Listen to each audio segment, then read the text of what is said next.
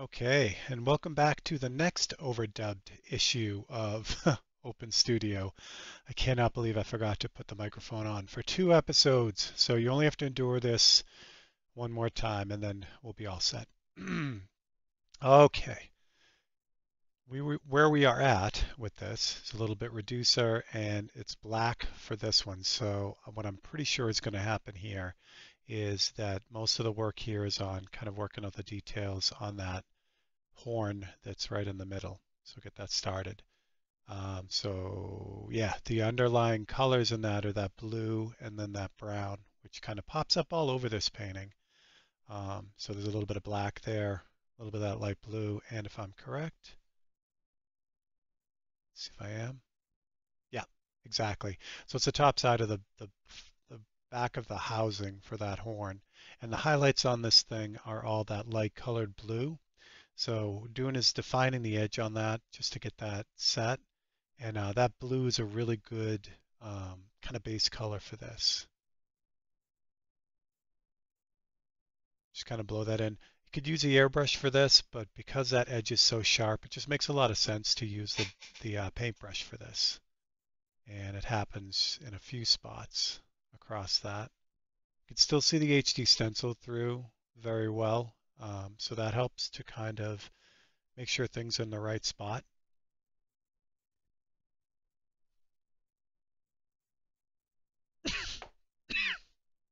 However, with the uh, number of um, paint layers on there already, it gets kind of difficult to see what's going on there with the HD stencil. So I got to use the, the reference photo, which is on the tablet right there uh, as well. A little bit of both, but between those kind of works out well. You know, you kind of figure out where all the gaps are and how to fill those gaps in.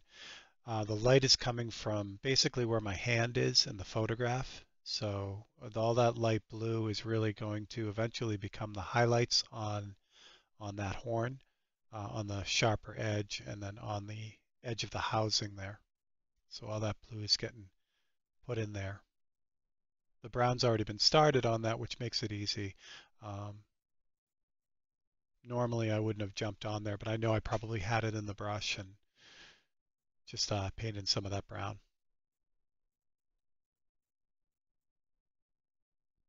And that's the brace that, or the the the, uh, the mount that holds it on to the um, the same part that actually holds the headlight on. So that's the highlight on the top of that. Looks like we're going a little bit darker now, so probably going to be, oh, okay. So the top of the springs needed to be cleaned up. Um, details go on first, and then the airbrushing will kind of fill in the gaps, but the spaces between the springs and the top of that uh, mount, and then the area that's kind of cut in there um, keeps that a little bit sharper than it would have been if it was just airbrushed. There's a lot of shading and it goes on in that area anyway. Uh, and I'm putting a little bit of texture on there as well to kind of give it something when I go to blend in that with the airbrush. Definitely more black. This is fun because I have no idea where we're going to go. a lot of the decisions that I make, and it's still the same thing, it's cutting in a lot of those details. But a lot of the decisions that I make don't follow a specific plan, they more follow a habit. Uh, so I tend to do things overall the same way, but I will bounce around a lot. And that's mostly to just help me keep uh, engaged with something like this where it's it's very involved. You know, there's a lot going on here. So that just kind of keeps me interested instead of working on one aspect for too long. Uh, if I'm doing too much rust, for instance, you know, just kind of get burnt out of that. So I will tend to bounce around a little bit um, if I find myself kind of getting numb to it. More of the same. So it's all about kind of cutting in those edges. The paintbrush does that really, really well.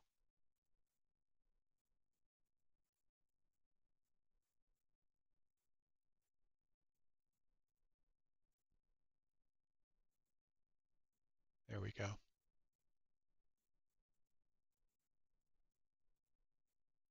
And then there's the bottom of that housing, which also has that same pitted metal. So again, that kind of scumbling that in with the paintbrush really sets up that, that pattern before I even get to the airbrush, which is nice.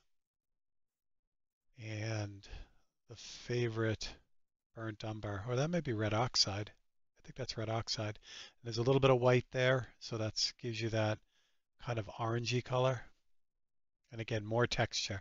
So the the lighter areas have have that lighter texture color because they pop out more. They're out in the open a little bit more than the darker ones. So when you blend all that together, uh, they, it won't be as, as bold. It'll just kind of blend in.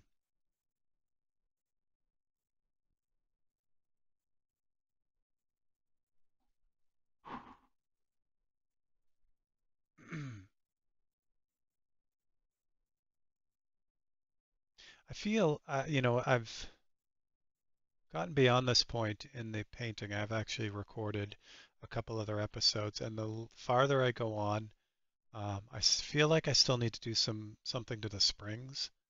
Um, a lot of decisions like that will happen even later on in the painting when I've got most of it done and I kind of am looking around and uh, things aren't maybe, you know, kind of gelling together right or something seems too harsh or too soft, that kind of thing.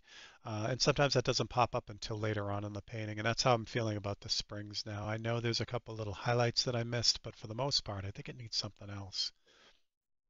We'll see about that as we go.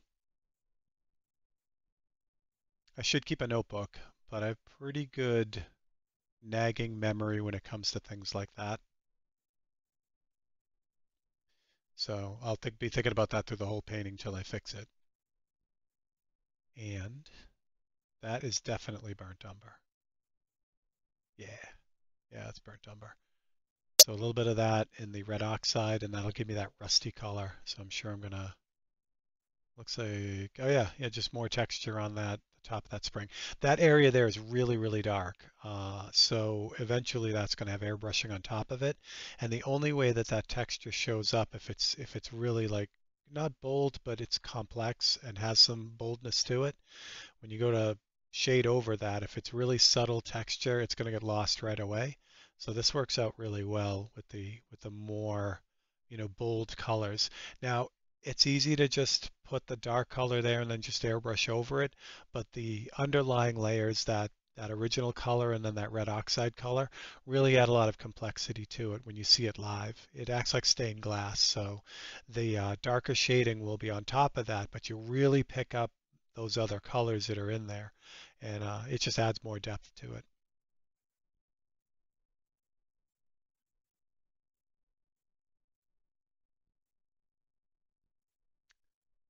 I have no idea what I'm doing right now.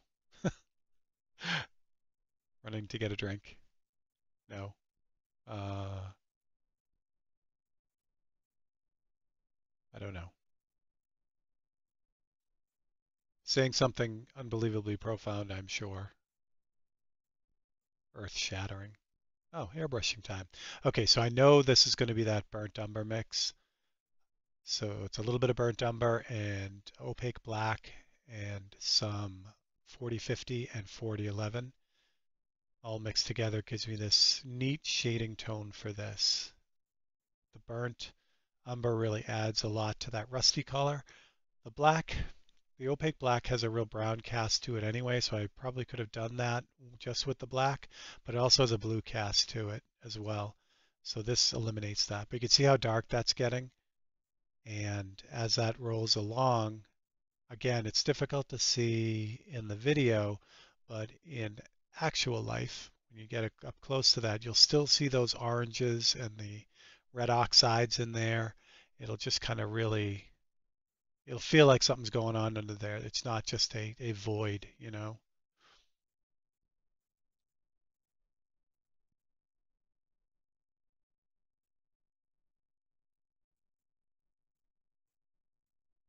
Again, surely something profound.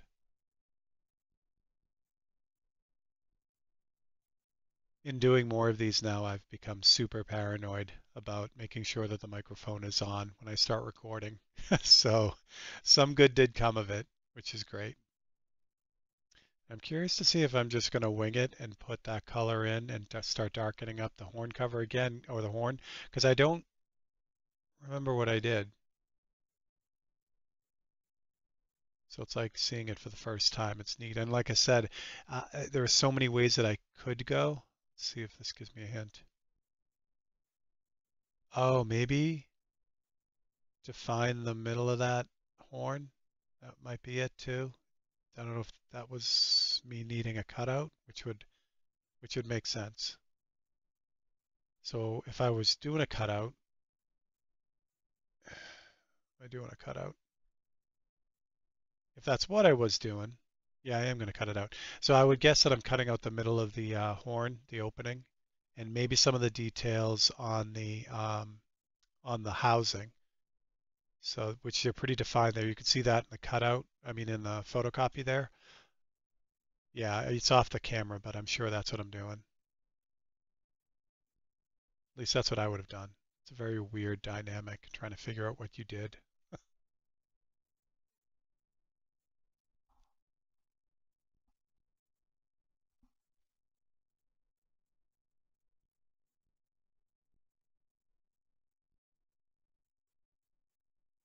And I get so engrossed in what I'm doing. This happens more times than I would like, where the camera's zoomed in and I'm not checking the monitor and what I'm working on you can't see. So, but like I said, I think when I pull that up, when you look at it, it's going to be the inside of the horn and maybe some of the housing that's darker. Yep, that's exactly what it was. Okay. So the reason why I do that, um, I could freehand that and get a lot of it in. This just makes so much quick work of it. Uh, it gives me that fairly sharp edge around the uh, outside of it, on the top side of it. The bottom where I'm pointing to right now, that fades. So what I got to do is when I spray this, I don't want to really hit that very hard along that edge. I want to hit it on the upper side of it so that it's dark where it should be and then it lets me fade it where it, also needs to be faded. If I sprayed that whole thing like a stencil, like a letter stencil, it would take a lot for me to fade that at the bottom where that hard edge was. So I'm going to hopefully, if I did this right, I'm going to hopefully uh, kind of spray the top side of it heavier and then the bottom side where it starts to fade, I lighten up. see what else I'm doing. Oh, I finally figured out that you can't see what I'm working on. There you go. Good job, Steve. So it's the underside, the darkest parts of the housing. And that just leaves the, um, it allows me to leave the, the screw heads that are there that holds the whole thing together. That just allows me to kind of keep them in place so I know where they are. So this becomes more of a place marker. Oh, this is going to be a good cut. This will be the money cut right here because I got to do it so I don't cut the highlight out because then the whole thing will fall out. Oh yeah, look at that. It worked. Go figure. so I left that as a flat because again, that's more of a place marker than an actual, you know, stencil. Like it's got to be there.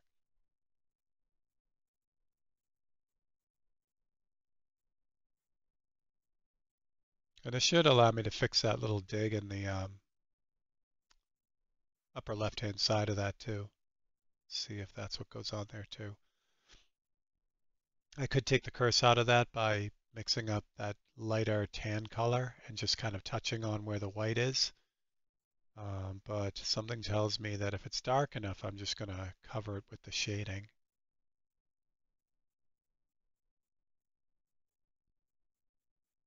A jumbo magnet because that's all that works through the ampersand board. I have to get more of those. Uh, I never, you know, I didn't think I'd use very many of them, but I've been doing a lot more on ampersand boards than when I started with the magnets.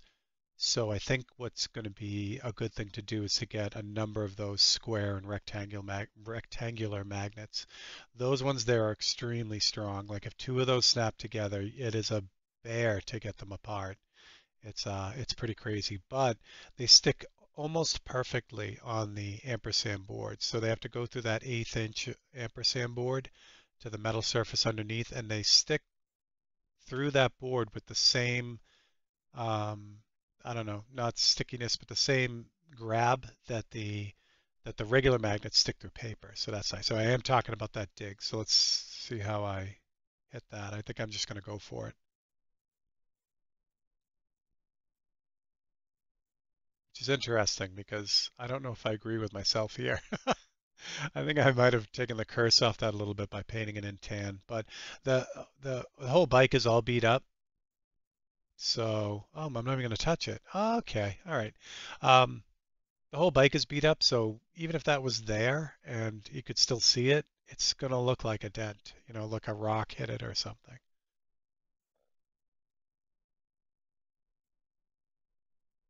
And then there you go. So that's exactly what I'm doing. So I'm mixing up a tan to kind of take the curse off that.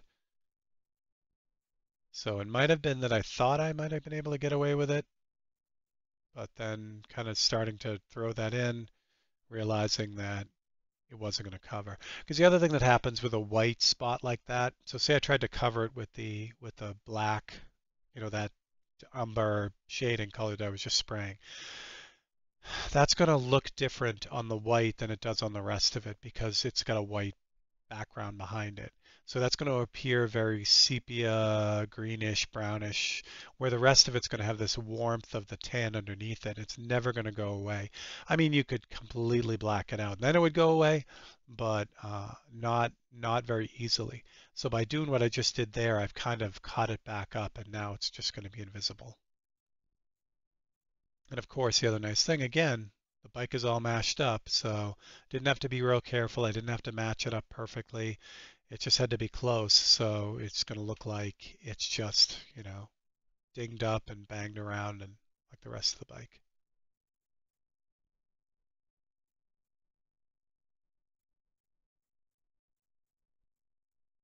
And now I'm pulling down that shading onto the part that uh, doesn't have, you know, the mask on it.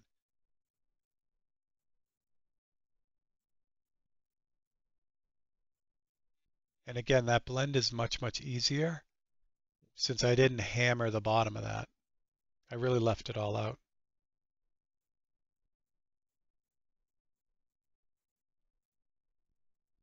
See, and you see how nice that blend is there? It doesn't look like it was done with a with a template or a stencil.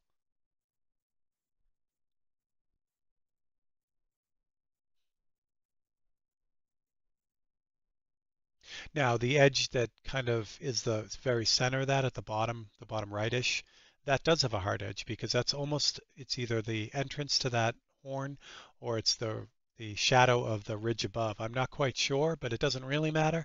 But what does matter is that it's got that hard edge to it. So that's that's really what we want. And I'm let's see what we got here. Oh, okay. So I'm defining the outside edge of of that horn cover. I keep saying horn cover because I used to doing horn covers all the time. There was no cover for that, it was just straight up.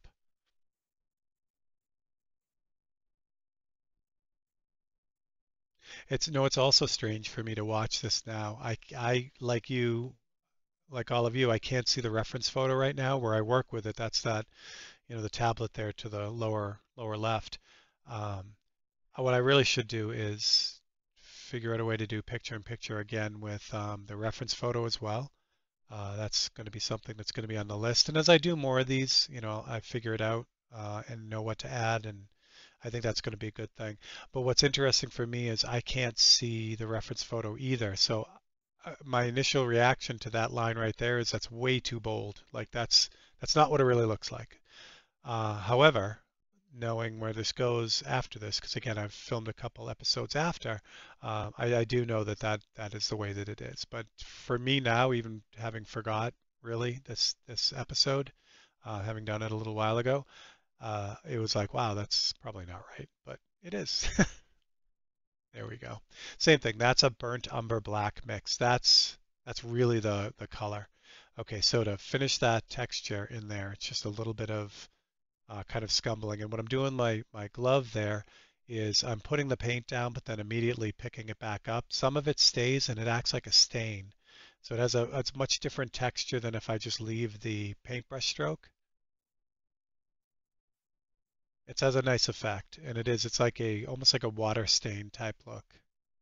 Now the trick to that is, of course, you can't use a lot of paint because I'm getting it on the, the finger of that glove. If it's wet, so wet that it stays wet on the glove too, it's a huge problem because I'll be dragging that all over the painting. So you got to kind of get used to the dynamic of that. That is one of the other, like the brace on the other side. So that ultimately gets really dark right there, but it also helps define that horn. And there's a top part of that housing too.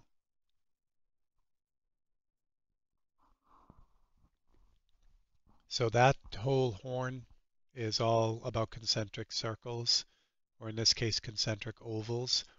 Easily the hardest thing to paint on any of these pieces of technology. So that will include headlights and wheels, steering wheels, anything that's that's oval but yet has another oval inside or outside of that same oval.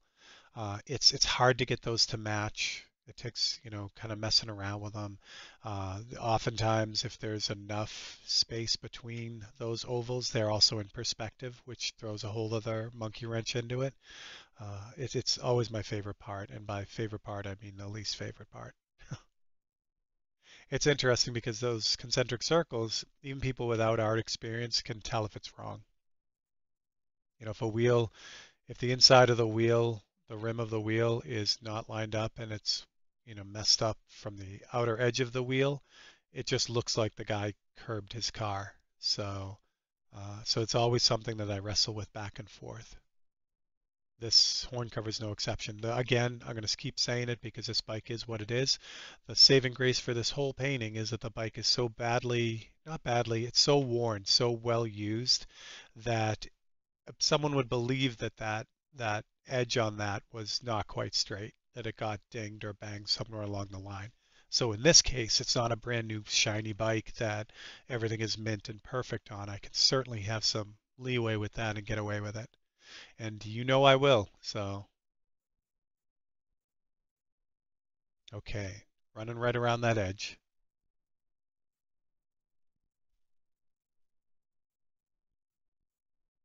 And again, it's all about the edges right now. It's a balance between the edges and the texture. So first is the edges to kind of get everything drawn in. And then it's to get the darkest part of the texture. The airbrushing is usually last, and I say that, but it isn't always true either. Again, it's a matter of self-preservation. If I've been doing a lot of line work and I just need a break and I want to mess around with the airbrush, there you go. So I know that there's more line work to be done with that, so I'm pretty positive that's exactly what happened. So now it's softening all that line work.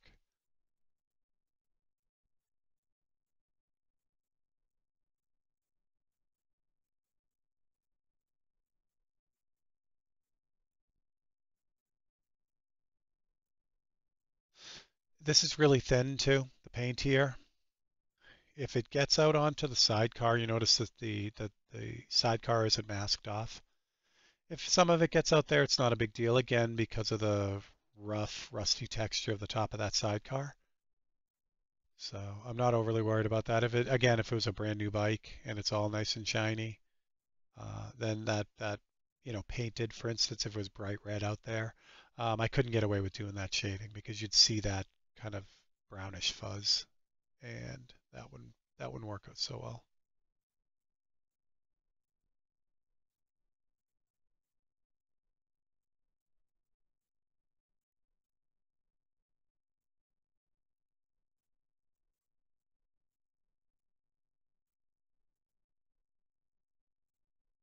So that with the airbrush here, it's about getting that fade in, but this is also to blend in that texture.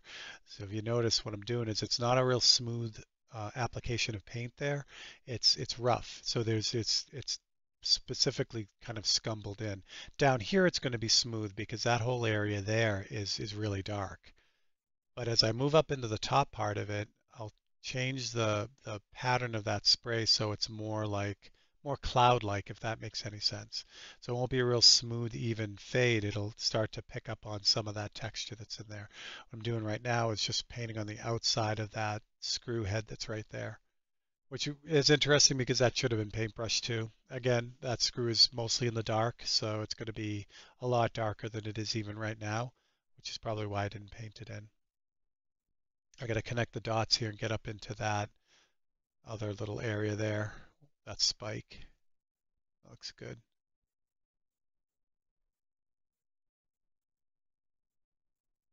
There's a lot of blue in this too. This uh, whatever material, whatever type of steel that's made out of.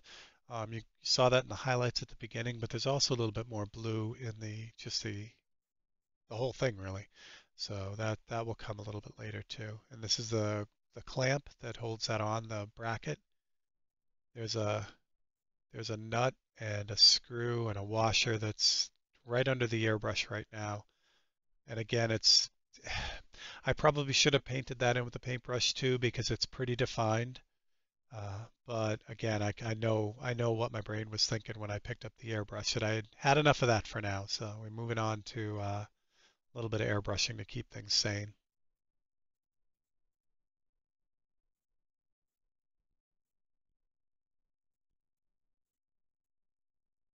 I'll say it again, man. The best part of this whole thing is right now I'm talking away and not realizing the mic isn't on, basically having an entire conversation with myself. I, what could go wrong? So here, that was a good example right there of putting in that texture. So it wasn't real smooth as it got to the light part. It was really just kind of like really gently back and forth with the trigger, the very front of the trigger to like let that paint sneak out and then stop. And it gives it that kind of rough, worn type of pattern. Probably do a little bit of that here, depending on how bright that is. But by the look of it, it's pretty smooth, so maybe I don't. We'll find out. Oh, the nut is there. I mean, the um, yeah, the the nut and the washer is there too. So I believe that's the top of the nut right there, below the area just painted. and this should be the bottom of it here. And that should be the front, the face of it. Yeah, so I'm just kind of ghosting it around it. And that will be paintbrushed eventually because the, the lines on that, the separation between the washer and the nut and the edges of that nut are really sharp. So I'm just, I know I'm just kind of fuzzing it around it to get it, get everything around it to the right value. But now it's starting to the area is starting to uh, appear for you. And then back up onto the back side of the horn behind the bracket.